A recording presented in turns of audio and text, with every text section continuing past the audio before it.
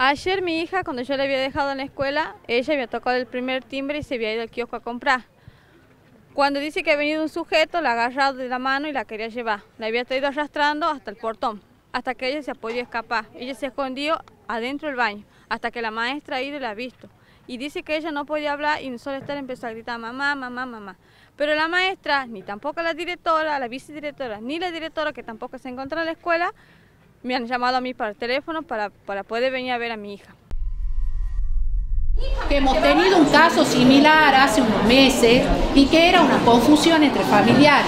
Entonces yo quería previamente hablar con usted. Una confusión, porque tu hija la quería llevar a mi dentro de la escuela. Dentro de la escuela. Eh, ¿Qué respuesta le han dado en la comisaría y cómo sigue el trámite de, de la denuncia que usted hizo? Eh, no me la han querido tomar aquí en la comisaría. Yo me ido a la brigada de, de investigación y ellos lo han hablado aquí y ahí me han tomado la denuncia. Comentar la situación, nos hacemos presentes, hablo con la directora para interiorizar. Y lamentablemente, en hecho, dentro de una escuela no tenemos a alguien que haya visto algo.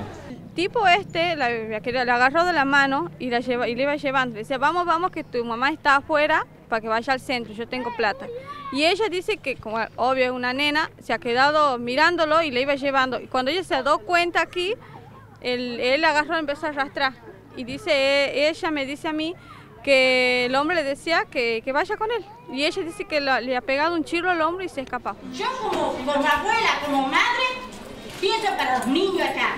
Son los niños que están perjudicados, no nosotros. Es la preocupación máxima nuestra como escuela y también de ellos que tienen a cargo toda la comunidad. Eso no puede quedar duda. Usted tiene un pequeño, se preocupa por su hijo.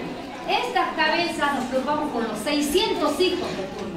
Por favor, no puede quedar en duda que el tema de la seguridad... Nosotras todas las mamás presentes hemos sacado ya a una directora por hacer mal las cosas. Ahora nosotros no pedimos, exigimos que se vaya esta, porque es exactamente lo mismo.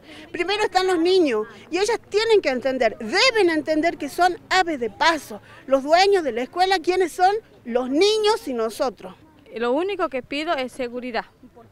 Un portero, un policía. Ese va a ser el compromiso y no va a ser voluntario. ¿A partir de cuándo, Y a partir de hoy ya está. Hasta que termine las clases, no por un par de días. Hasta que termine el ciclo lectivo si Dios quiere. No se va a abrir para que entren todos a sacarlo de las aulas, no se va a abrir, porque en el sujeto uno puede controlar quién va a entrar y no. O sea, ¿estamos de acuerdo con eso?